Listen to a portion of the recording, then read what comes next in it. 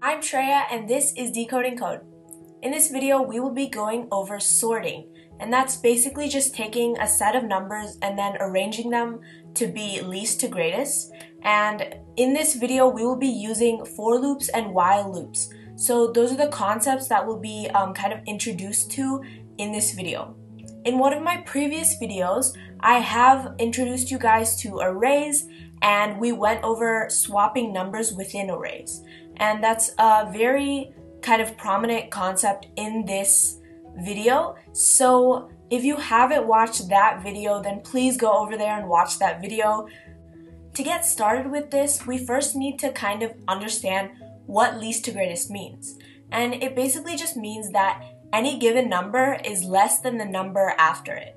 And so that's basically what we're telling our computer. And for now, we will uh, ignore this while loop because I haven't gotten there yet and focus on this for loop. So this is the starting point. So any variables that you need to initialize at the beginning of the uh, for loop, then this is where you would do that. And if you don't need to, then that would just be a blank semicolon. So then we have our condition. And for me, this condition is i is less than nums.length. So it won't try and look for numbers that aren't there. And also, then we go and tell the for loop like what to change after each loop. So this basically means i is i plus 1. So we're increasing the value of i, making it so that we go to the next number and do the same thing over again. We have an if statement in the for loop. And what this if statement is saying is that in order to go through this swap, then first i plus 1 has to be less than nums length. But wait, why i plus 1? Why not i is less than nums length? And remember, i is just our kind of index, and so we created our own kind of index to track the numbers that we're doing. If i was less than nums dot length, then we could take 2 and then we're using i plus 1. So when the computer gets to the if statement, if we're just using is less than nums.length, then it would look for a seventh value, which isn't there. Then we can take uh, 2 and then this is the index 5. So then the index 5 plus 1 is 6 and then 6 is not less than nums.length because nums.length is 6. So that would be equal to each other. And then you couldn't use this number. So you would just go through the rest of them and swap using those numbers. And also, we want to introduce the condition that the i value is greater than the one after it. So we're basically saying that if the number is greater than the number after it, then it's not least to greatest. And then we need to swap those numbers. So that's what we do here. So we make a variable called swap and we set that equal to nums for i. And right now i is 0 because this is the first time that we're going through it.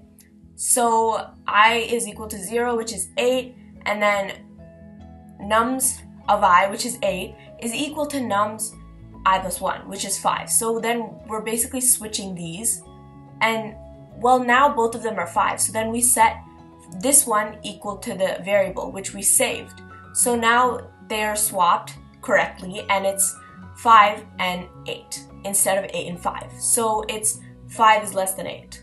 So then I'll explain this a little bit later, but that's basically the swapping that's happening here. So the if statement only lets that happen if it's greater than the one after it, and if i plus 1 is less than nums.length. So it'll only do it for these first five values. It only runs through the for loop if this condition is met. So it would run through the for loop for all of these numbers, um, but not any imaginary kind of numbers after that because they don't exist. Now we don't want to go forever and ever with this for loop. We just want to um, keep doing it until it's correctly into least to greatest. We create a boolean called have I swapped and we set that equal to true. So you'll see the point of this as I explain it. But So in the while loop, we set the condition to have I swapped is equal to true, and then we immediately, after that line, in the while loop, set have I swapped equal to false. So the fact that have I swapped is equal to false before the for statement means that if we don't go through the for statement, then it won't do the while loop and then the whole thing just stops. So basically, the condition for the for is i is less than nums dot length. So it goes through for each of these, right? And so that means it goes through five times.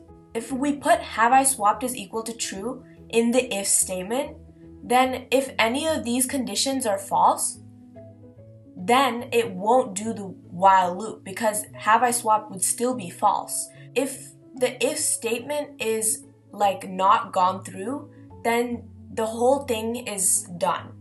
Um, and then our array that we have at that point is our end product.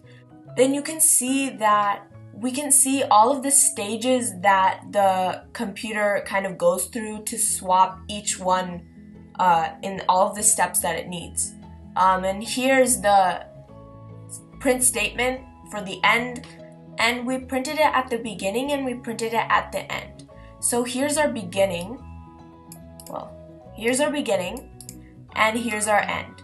And you can see that 2 goes all the way from the back to the front. It only goes as much as the length because here, it goes five times and five times is enough swaps for anything like from the back to go to the front or from the front to go to the back.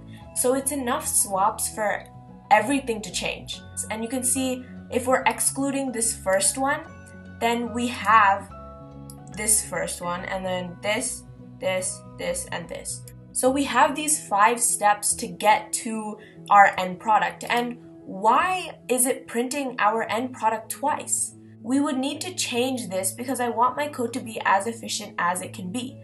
But if we took out this print statement, hold on, give me two seconds, and we stuck it here, then if we run the code, then it would only give me the first and the last values. But to give the computer a little less kind of work to do and to make your code more efficient, we would make it so that the last value or array would not be repeated twice. And that's what we're gonna do in our next video. Alright, so you can see all of the steps here. And this goes through because it's not, um, it's meeting the conditions. So it's not least to greatest at this point. So it goes through and it gets this. And then when it goes through again, it's false. So then it just prints our end kind of statement. And so we wanted to not print it twice because that's a bit excessive. And so that's what we'll be going over in my next video. I really hope you enjoyed this video. If you did, give me a thumbs up and hit the subscribe button. And uh, comment down below any questions or feedback you guys might have for me about this video. I will see you guys again uh, next week for this video about how to make your code more kind of efficient.